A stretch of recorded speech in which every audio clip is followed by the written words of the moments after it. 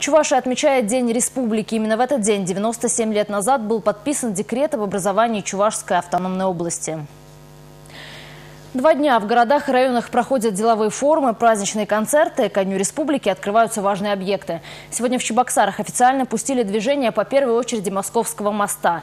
Реконструкция началась еще в декабре 2015 года. Мост давно находился в аварийном состоянии. И учитывая его важность для столицы республики, было решено не просто отремонтировать дорожное покрытие, а построить практически заново. Московский мост в Чебоксарах построили еще в 1966 году. Он соединил два района и стал важной составляющей транспортной сети столицы. Так что оставлять его в аварийном состоянии было опасно. Ежедневный поток машин создавал здесь крупные пробки. Он обеспечивает транспортные связи с жилыми кварталами, с крупными промышленными и коммунальными зонами. Реконструкция Московского моста и увеличение до шести полос – позволит увеличить пропускную способность в полтора раза и составит 43 тысячи автомобилей в сутки. На реконструкцию в целом было выделено полтора миллиарда рублей. Сейчас строители освоили половину. Более 600 миллионов выделил федеральный бюджет, более 130 и республиканский. Этот мост строители называют особенным.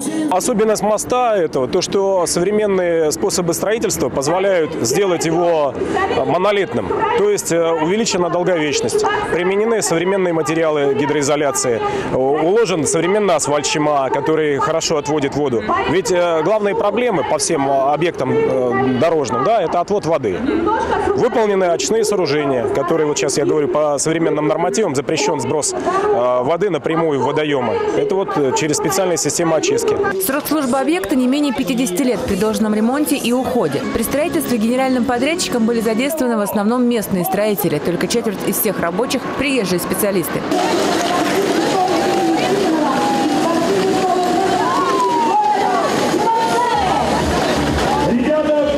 Ребята отметили, что покрытие ровное и проехать по нему в числе первых им было очень приятно. Не машина пойдет, но опалки проваливаются. Да, уж не машина, потому что же для них предназначено было. Интересная идея новая и популя... ну, популяризация спорта идет.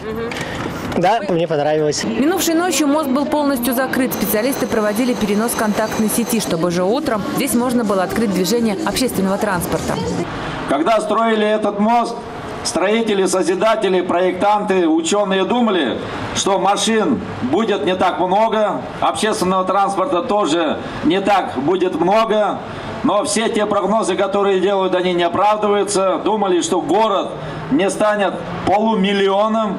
И хочу выразить всем благодарность за то, что работали на результат. Как одна команда, как одна семья. Уже в начале июля генеральный подрядчик приступит к строительству второй очереди моста. А во второй половине 2018 года шестиполосный московский мост будет полностью открыт для движения. На первый взгляд может показаться, что здесь зачем-то покрасили землю. На самом деле это гидропосев. Здесь специально посели зеленые семена, чтобы было видно, что скоро здесь вырастет дрова. Татьяна Молокова, Олег Якимов, Республика.